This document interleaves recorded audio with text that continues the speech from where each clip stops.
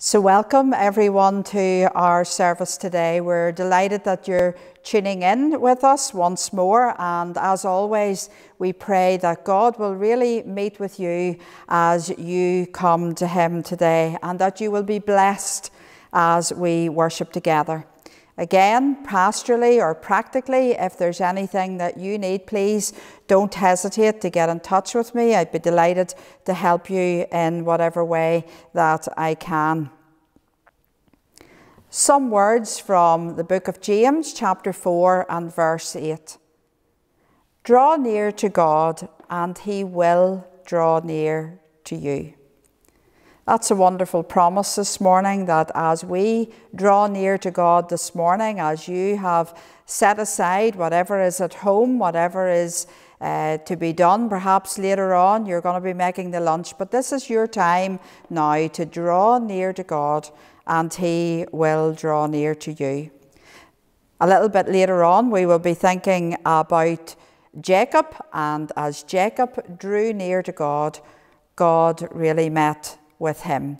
And that is our prayer this morning that you would have an encounter with the risen Lord Jesus, that as you come before him, he would meet with you. And now Matthew is going to come and lead us in the rest of our service. Thank you, Matthew. Well, good morning, everyone. And let's join together in the words of the confession. Heavenly Father, we have sinned against you and against our neighbour in thought, word, and deed, through negligence, through weakness, through our own deliberate fault, by what we have done and by what we have failed to do. We are truly sorry and repent of all our sins for the sake of your Son, Jesus Christ, who died for us. Forgive us all that is past and grant that we may serve you in newness of life to the glory of your name. Amen. And a collect for today, the sixth Sunday after Trinity. Merciful God, you have prepared for those who love you such good things as pass our understanding. Pour into our hearts such love towards you that we, loving you above all things, may obtain your promises, which exceed all that we can desire. Through Jesus Christ, our Lord. Amen. And now Amy is going to bring us our Bible reading. Today's reading is taken from Genesis chapter 28, beginning at verse 10. Jacob left Beersheba and set out for Haran.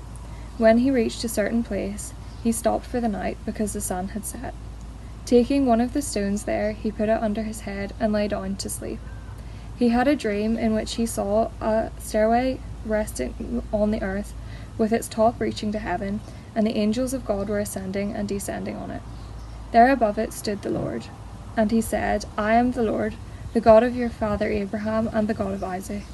I will give you and your descendants the land on which you are lying. Your descendants will be like the dust of the earth, and you will spread out to the west and to the east, to the north and to the south. All peoples on the earth will be blessed by you and your offspring. I am with you and will watch over you wherever you go, and I will bring you back to this land. I will not leave you until I have done what I promised you. When Jacob awoke from his sleep, he thought, Surely the Lord is in this place, and I was not aware of it. He was afraid and said, How awesome is this place! This is none other than the house of God. This is the gate of heaven. Early the next morning, Jacob took the stone he had placed under his head and set it up as a pillar and poured oil on top of it. He called that place Bethel, though the city used to be called Luz. Thank you, Amy, for that. And now Simon Henry is going to lead us in our prayers. Hello, church. Simon here. Uh, I'm here today just to lead you in prayers, and I hope you're doing all right uh, wherever you're watching this from. So let's pray together. Father God, I just Thank you, Lord, that our church family can meet again, Lord, safely in our, our, our church buildings, Father God. Um, and for those, Lord, who can't yet feel they can come out to services or for health reasons, Lord, um, uh, we pray for those people today, Father God, too. Um, we thank you for uh, a diverse church family, young and old, and everybody in between. Um, and Lord, we just pray your guidance during this um, unknown time, Lord, as we um, come out of lockdown and um, all the talk of, of a new normal, Father God, and what that looks like. Um, Lord, we just pray for your guidance for um, our select vestry, for Joanne, um, for Matthew, Lord, for uh, Matt and all the Logic team, Lord, um, for Joanne and the office, Lord, as well.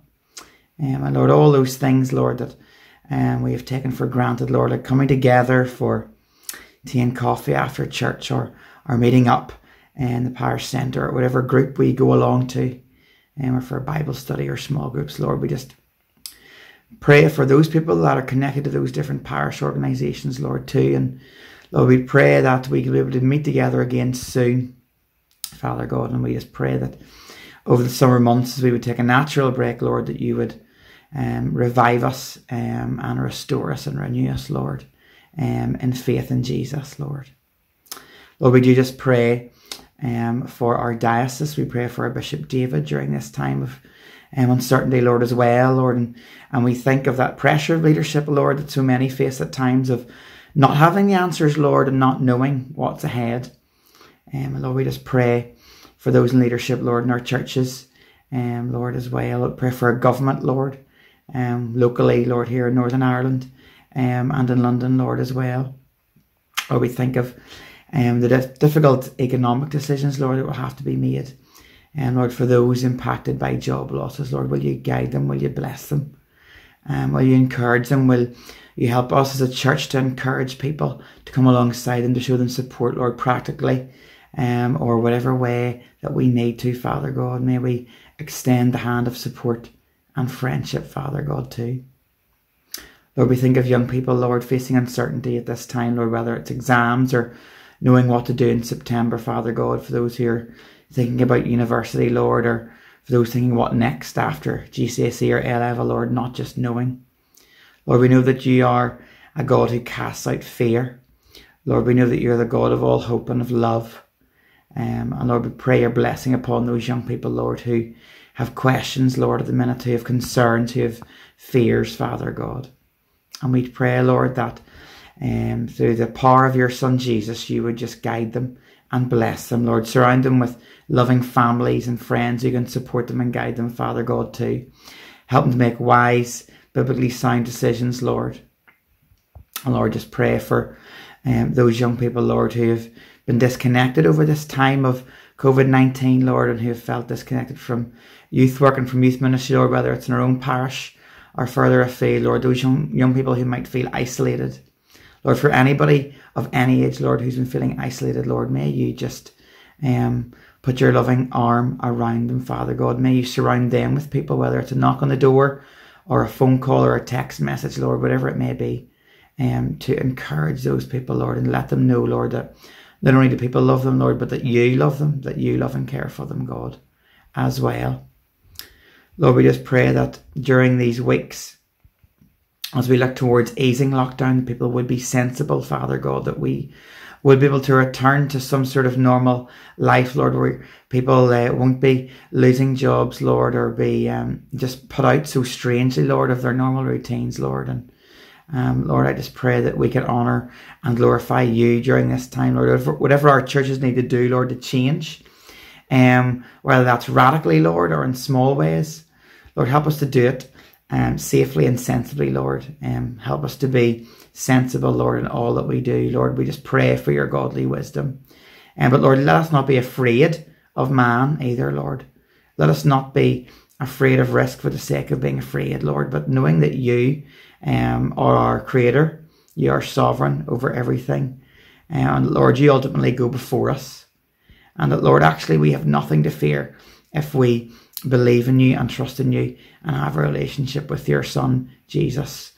So let us not be afraid, Lord, of illness or death or get gripped by fear. But Lord, help us to be bold in confidence through you and through the hope and um, that assured hope we have through Jesus Christ. And Lord, we just ask all these things today in your name. Amen. Amen. So thank you, Simon, for leading us in our prayers. And let's join together in prayer once more as we come to look at God's Word. Heavenly Father, this morning we thank you for that wonderful promise that when we draw near to you, you will draw near to us. So we're claiming that now as we come to look at your word together. We pray that by the power of your Holy Spirit, that you would come upon each of us, that you would, Lord, speak to us, and that we would truly know what you're saying to each and every one of us in whatever situation we find ourselves this morning. So come, Holy Spirit, we pray, in Jesus' name. Amen. I wonder have you ever felt sorry for yourself? Have you ever been at the end of your rope? Well, if you have, then you'll probably be able to identify with Jacob and where we find him in that Bible reading which Amy read a few moments ago. But before we look at where we see Jacob just now, let's do a little recap as to how Jacob found himself where we read about him a few minutes ago. Jacob is the younger son of Jacob, Isaac, and Rebekah. He, his older brother is called Esau, and Esau, being the older brother, would have expected to get the father's blessing. But as we know, Rebekah, the mother, she helped Jacob trick Isaac into giving Jacob the blessing. Now, as you can imagine, Esau was pretty mad at this and so he really has it in for his brother. And so we find Jacob fleeing the family home in fear of his life, and he sets out for Haran. And as he heads to Haran, he stops en route and has a sleep for the night. And that's where we picked up the story this morning.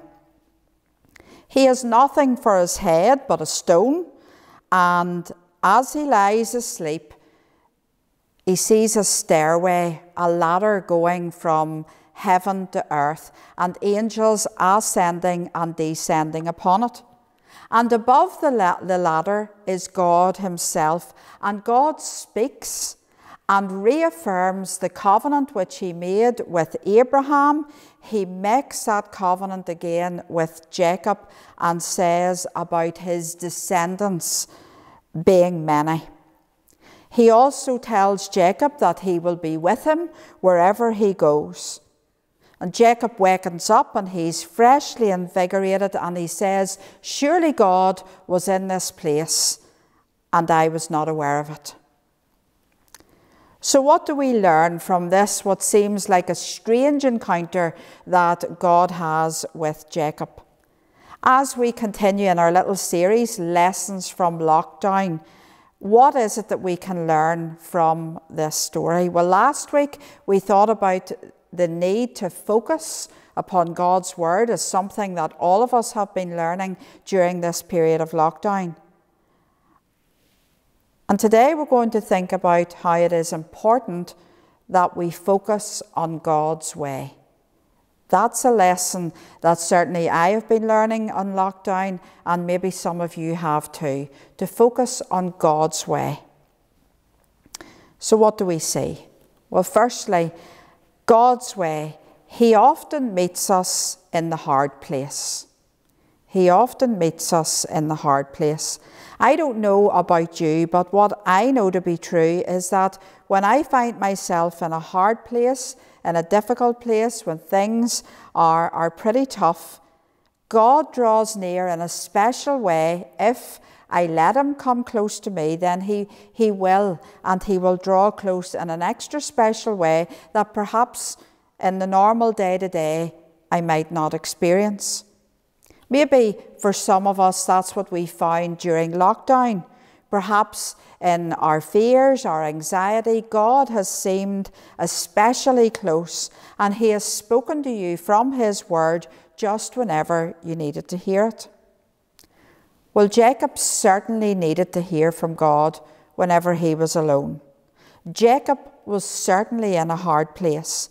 He had left behind the security of his own home. He had no comfort. He had no comforter.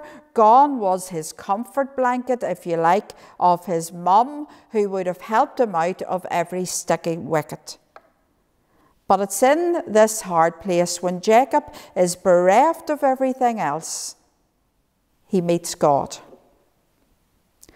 How does Jacob describe this event a little bit later on? Well, in Genesis 35 and verse 3, Jacob describes this as the day of his distress. So Jacob was clearly upset and fearful and anxious, distressed whenever he encounters God. God meets Jacob in the day of his distress. And then that shouldn't surprise any of us because whenever we look back through Scripture, we can see that God meets His people whenever they're in distress. He might well bring them to the wire, but He certainly will meet with them. Psalm 34 and verse 18 says, He rescues those whose spirits are crushed. And isn't that where Jacob finds himself right now? His spirit is crushed. And maybe that is where you find yourself even today as you listen to this. Maybe your spirits are crushed, your heart is heavy, whatever way it is that you wish to describe it. It is a day of distress, perhaps, for you. Maybe it's been a week, maybe it's been a month, maybe it's been months. But no matter how long it has been, just as God met with Jacob in his day of distress, so he will meet with you in yours. God's way is always to meet with us. And so we focus on that this morning. God's way. God's way, as we focus on it, He leads us to a rock that is higher than us. He leads us to a rock that is higher than us. You know, God often wants us to get our eyes off our circumstances. He wants us to get our eyes off looking inward at ourselves. He wants us to get our eyes focused onto Him. And that's what we thought about a few weeks ago whenever we looked at Habakkuk. Here is Jacob bereft of all human comfort and comforters. And what does he do? He puts his head down upon a rock. Now, of course, this was a literal rock. He had nowhere else to lay his head. But whenever we read of a rock in Scripture, it speaks of God Himself. Psalm 61 and verse 2 says this From the ends of the earth I will cry to you. When my heart is overwhelmed, lead me to the rock that is higher than I. In 1 Samuel 2 and verse 2, we read these words Neither is there any rock like our God. And Jacob was about to learn this that there is no rock like our God. On the rock where he had laid his head, he was going to meet the rock, the one on whom he could depend. He was at the end of his rope and that's exactly where God wanted him to be, so that he could bring him back to himself, back to God, back to God, the rock. And I wonder this morning is that where you feel you're at the end of your rope? And is God saying to you this morning, I want to meet with you and I want to bring you back to me, back to the rock, the one on whom you can depend. I wonder what are we depending upon in hard times? During this lockdown, where have we placed our dependence? Jesus said in that wonderful parable, the wise man builds his house upon the rock. The wise man builds his house upon the rock. What did he mean? Build your life upon God Himself because anything else can fail. The hymn picks that up as well. On Christ, the solid rock, I stand. All other ground is sinking sand. Friends will let us down. Finances may dwindle, but our Heavenly Father, He is the one who is forever sure. And I really believe that this is a lesson which God wants all of us to learn and to take away from lockdown and to continue with us as we move out of this lockdown period. To check the foundation on which we are building our life upon is secure. What are we building on? If we build upon Christ, then we are secure, our future is secure, our life itself is secure with Him.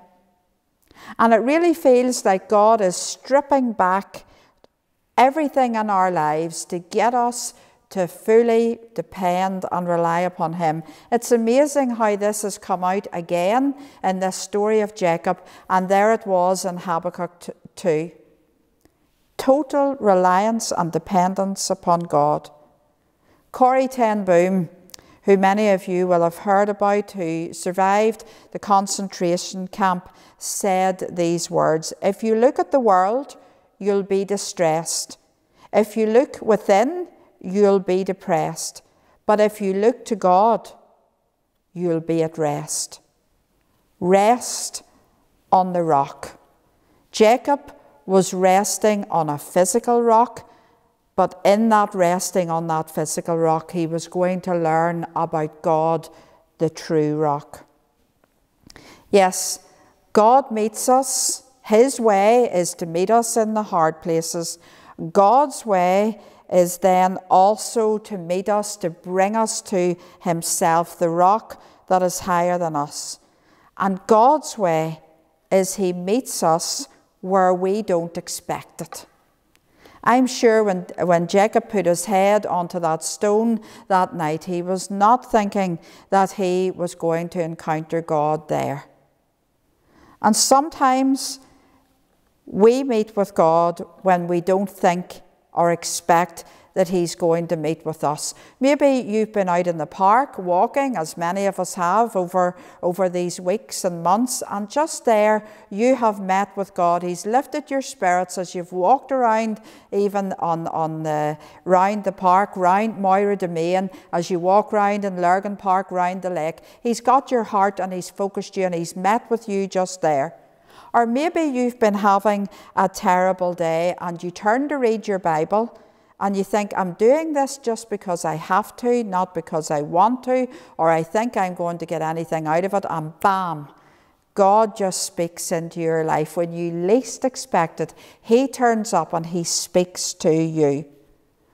Or maybe you've been grumpy, grumpy with your children, grumpy with your spouse, grumpy with your friend, maybe even grumpy on the way going into church, and dare I say it, maybe even grumpy with God.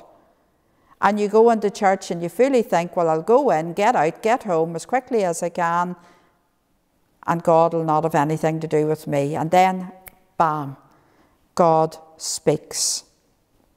Well, Jacob, what was Jacob trying to do at this point?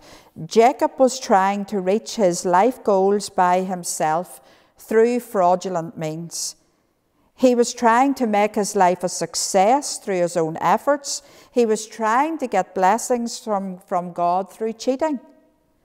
And as he lies down at night, God meets him as he reaches out a ladder from heaven to earth.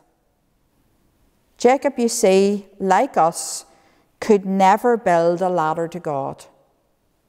That just was not possible. Do you remember back in the story of the building of the Tower of Babel when the people tried to build that tower to reach up to God?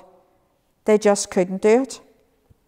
And some people today think that they can build their way up to God Himself. You know, if I were to have a, a, ladder here, I would say that perhaps the first rung that people think that they can put in that ladder is, well, if I don't do anybody any harm, that'll get me up closer to God if I, if I do that. And then some people move beyond that, thinking I'll not do anybody any harm. Well, then actually, I'll do some people some good. So I'll put that in as the second rung of the ladder. And as I get up they say, uh, no, can't just quite reach. And then some people think, well, I'll not just do good, I'll be really, really kind and generous to other people around me. And again, they discover that that just doesn't make the connection with God. We cannot build a ladder from us to Him. God had to send His one and only Son into the world to build that connection between us and God.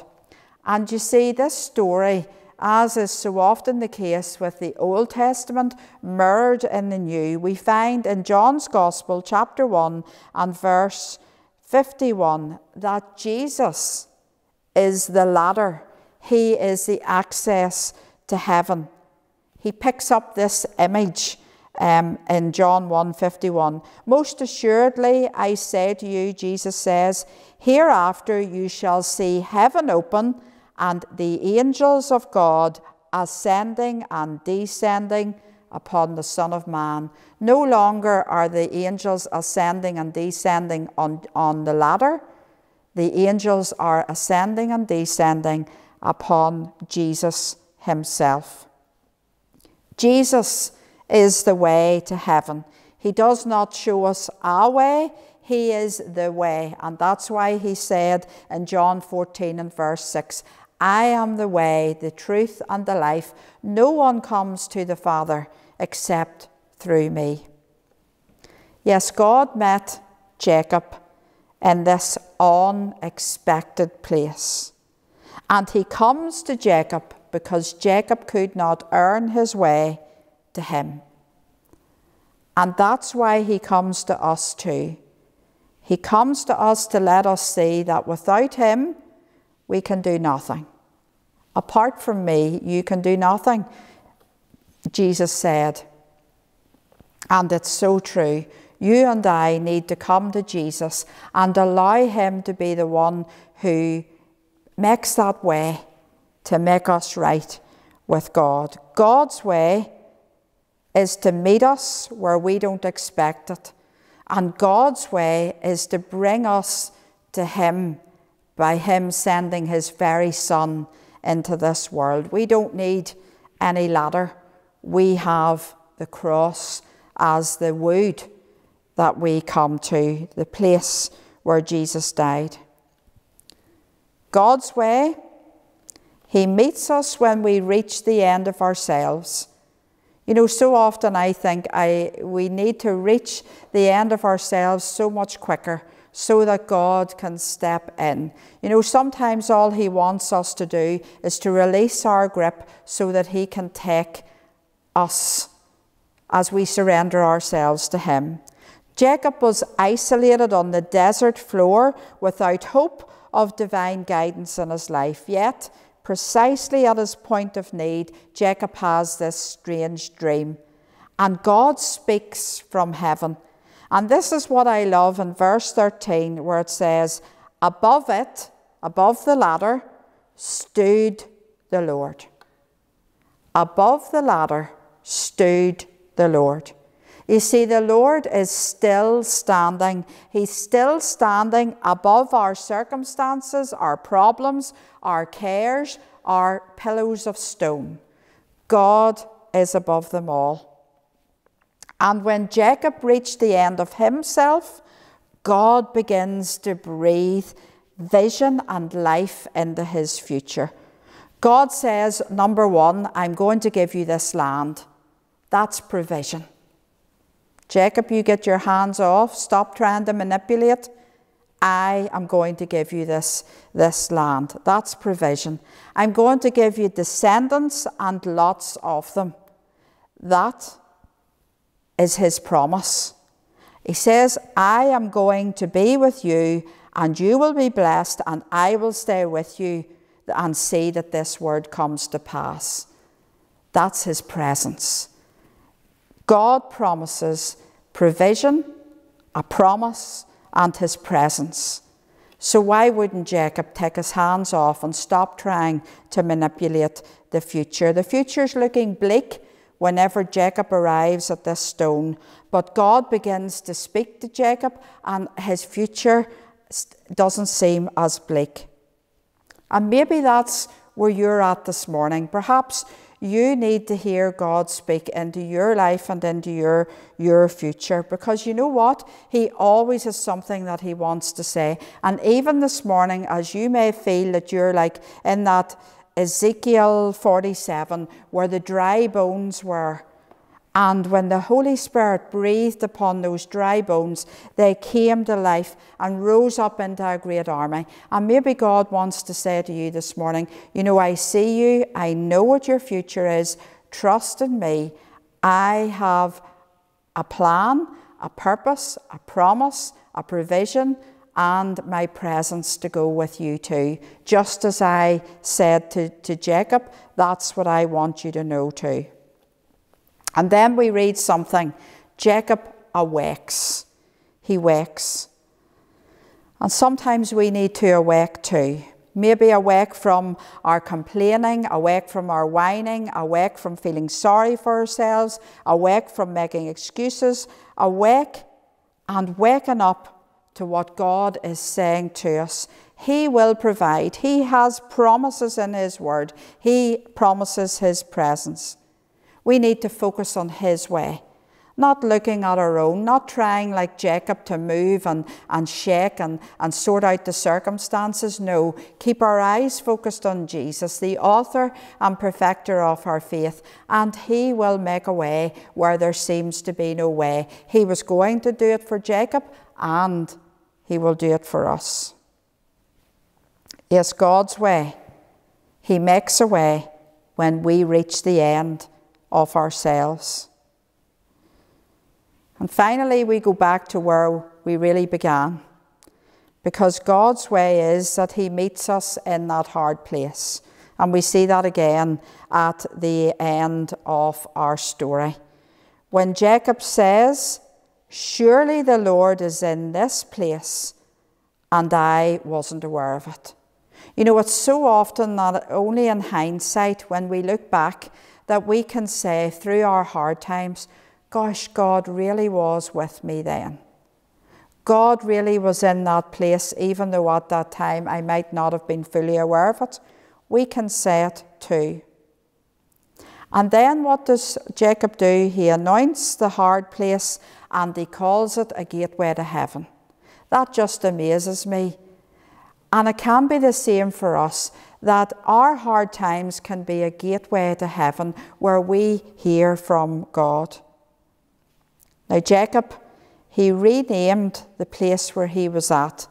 He renamed that place of Luz to the name Bethel, house of God. Now, some people think that Luz was named after the almond trees that uh, grew around that particular place. There's no proof of that. However, Luz may very well have been named after a crooked and perverse generation that lived there. You know, at that particular place, Jacob had a choice.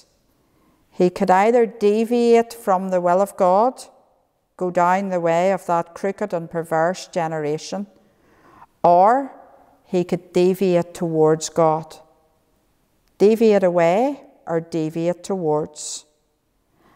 And in our hard times too, we have a choice to make. Will we deviate towards God or will we deviate away from Him and away from His plans?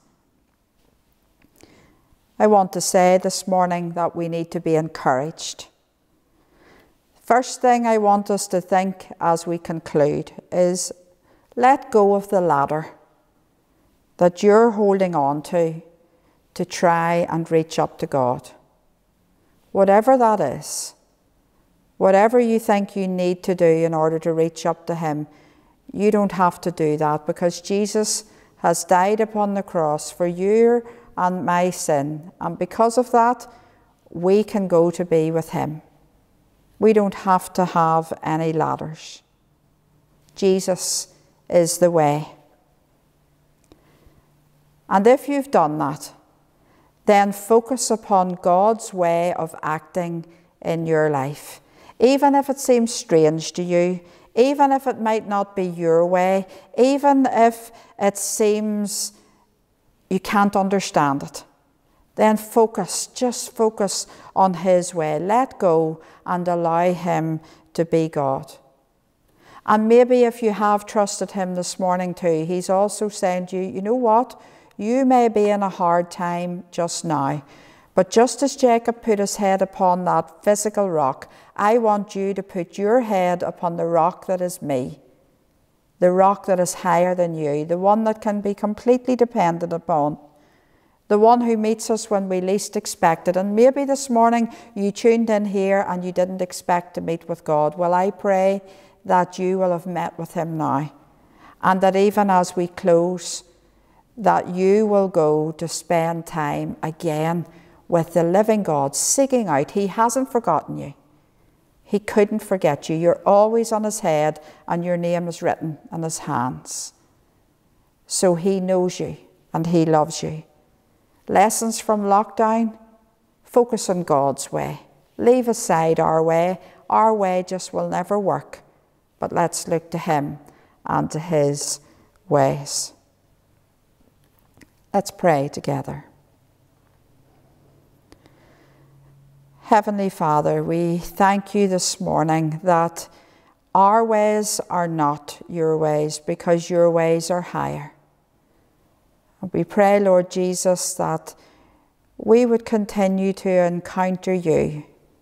That, Lord, we would be done with seeking out our own way, as Jacob tried his own way and ended up in a hard place. We pray, Lord, that we would always look to you, seek your face always. We pray, Lord, that you would speak afresh to us this morning as we need to hear you speaking into our lives. We ask it in Jesus' name. Amen. In a moment, we're going to hear the song, On Christ, the solid rock I stand. All other ground is sinking sand if we stand firm in Him. He is our rock on which we can depend. But let's pray together one last time. And so may the peace of God, which passes all understanding, keep our hearts and minds in the knowledge and love of God and of His Son, Jesus Christ our Lord and the blessing of God Almighty, the Father, the Son, and the Holy Spirit be amongst us and remain with us this day and always. Amen. God bless you. Have a good week, and may you be encouraged as you step into this new week with God as your rock.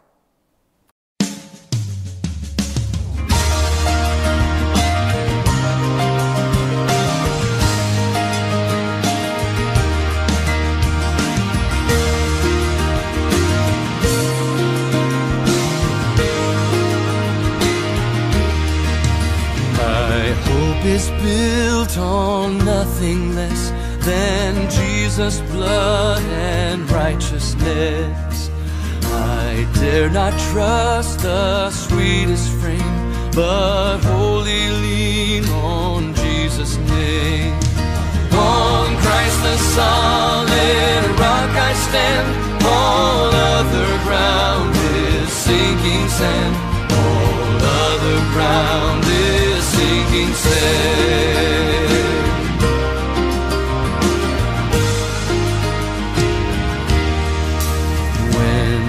Darkness seems to hide his face, I rest on his unchanging grace. In every high and stormy gale, my anchor holds within the veil. On Christ the solid rock I stand, all other ground is sinking sand. All other ground is sinking sand. Mm-hmm.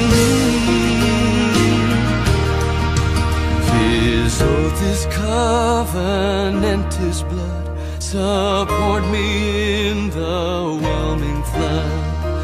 When all around my soul gives way, He then is all my hope and stay. On Christ the solid stand, all other ground is sinking sand. All other ground is sinking sand.